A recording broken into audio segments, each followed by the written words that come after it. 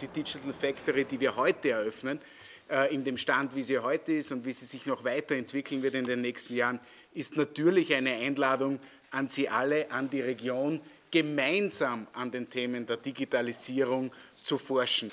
Ich möchte einen Aufruf an die Wirtschaft machen, von diesem Forschungszentrum auch Gebrauch zu machen.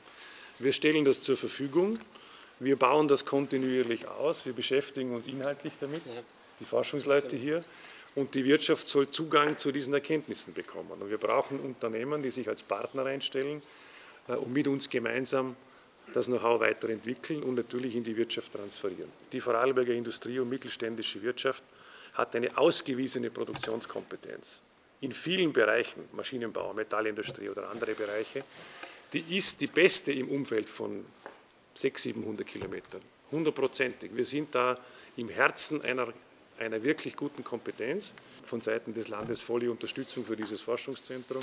Ich hoffe, die Wirtschaft profitiert und dass die Partner auch ihre Freude damit haben und vor allem, dass man das auch implementieren kann in den betrieblichen Alltag. Das wird das Allerwichtigste sein. Schauen wir mal. Also wir starten. Schauen wir, wir starten jetzt, genau. Äh, wir befinden uns mittendrin in der Digitalisierung und wenn man sich genau überlegt, sie kommt mit rasenden Schritten immer weiter über uns herein. Äh, die Factory äh, ist ein Labor, wo wir Digitalisierung erleben können, also die Abläufe zu steuern, äh, die Daten zu sammeln.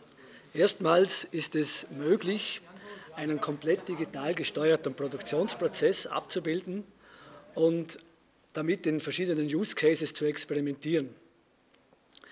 Die Studentinnen und Studenten, die die große Chance haben, hier arbeiten und, und äh, wirken zu können, erhalten eine Ausbildung oder ein Fachwissen, das sonst nur in hochspezialisierten Unternehmen zu gewinnen ist und zu erwerben ist.